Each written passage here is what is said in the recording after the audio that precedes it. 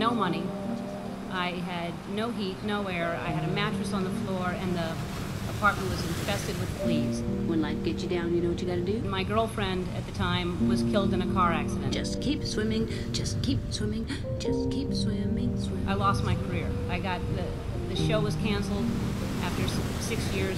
I was getting letters from kids that almost committed suicide but didn't because of what I did.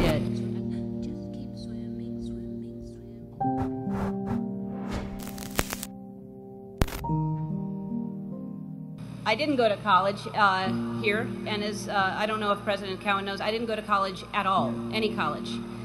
When I finished school, I was completely lost.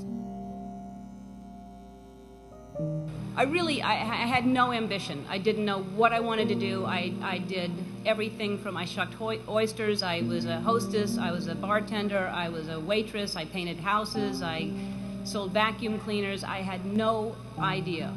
And I thought I'd just finally settle on some job and I would make enough money to pay my rent, maybe have basic cable, maybe not. I didn't really have a plan. My point is that by the time I was your age, I really thought I knew who I was, but I, I had no idea.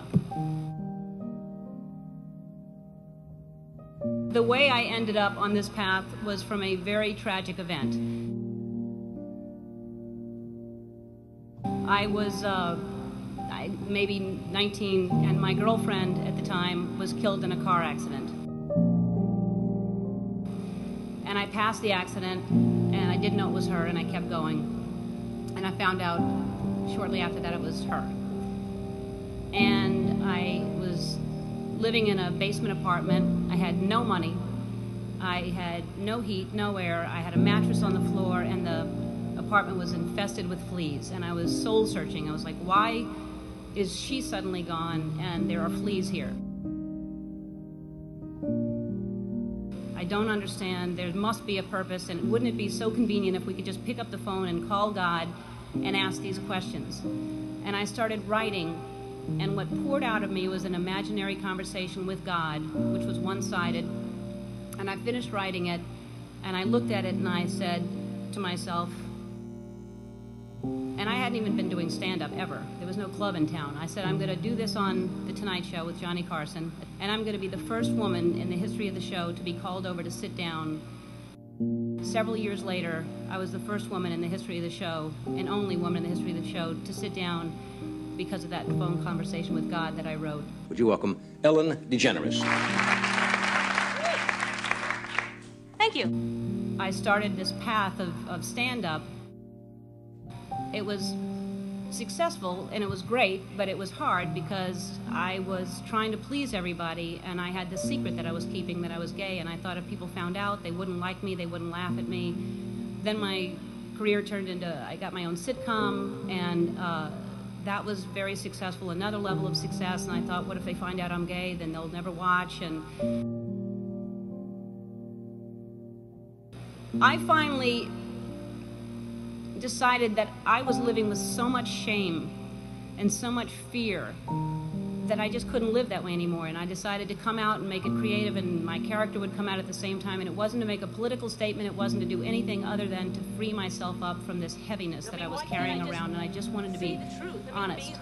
And I thought, what's the worst that can happen? I can lose my career. I did. Susan, I'm gay. I lost my career. I got the, show was canceled after six years without even telling me. I read it in the paper. Um, the phone didn't ring for three years. I had no offers. Nobody wanted to touch me at all. Um, and yet I was getting letters from kids that almost committed suicide but didn't because of what I did. And I realized that I had a purpose. And it wasn't just about me and it wasn't about celebrity, but I felt like I was being punished. And it was a bad time. I was angry, I was sad. And then I was offered a talk show. And the people that offered me the talk show tried to sell it, and most stations didn't want to pick it up. Most people didn't want to buy it because they thought nobody would watch me. And uh, really, when I look back on it, I wouldn't change a thing. I mean, it was so important for me to lose everything because I found out what, what the most important thing is, is to be true to yourself. Ultimately, that's that's what's gotten me to this place. I don't live in fear. I'm free. I have no secrets, and I know I'll always be okay because no matter what, I know who I am. So, in conclusion, when I was younger, I thought success uh, was something different. I thought when I grow up, I want to be famous.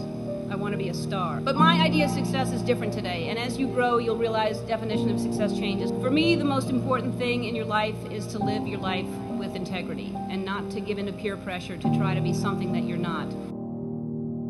To live your life as an honest and compassionate person, to contribute in some way.